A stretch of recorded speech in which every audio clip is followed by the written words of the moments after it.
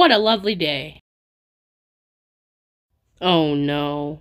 What? What's wrong, David? Bruh, haven't you checked? We have faces now. It's disgusting. I wouldn't say that. It is disgusting, and plus, look at the people on DeviantArt. Okay, I get your point, but you gotta realize that people work very hard to make those.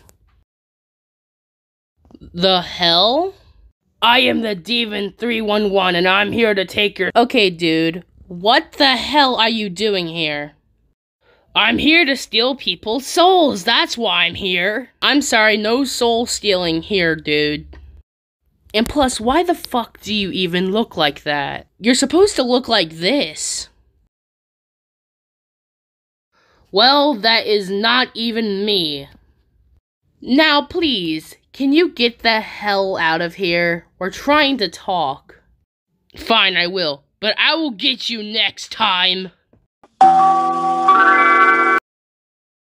The fuck?